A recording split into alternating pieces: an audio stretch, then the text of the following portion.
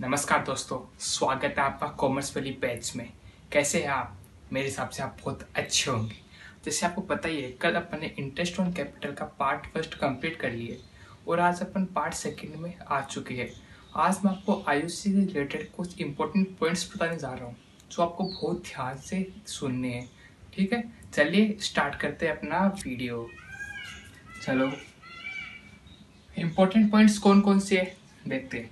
First point है in the absence of deed IOC is not provided जब आपकी deed मतलब जो पार्टनरशिप डीड है, वो अब्सेंस है मतलब है ही नहीं, उस केस में आपको आईओसी नहीं देना है, ठीक है?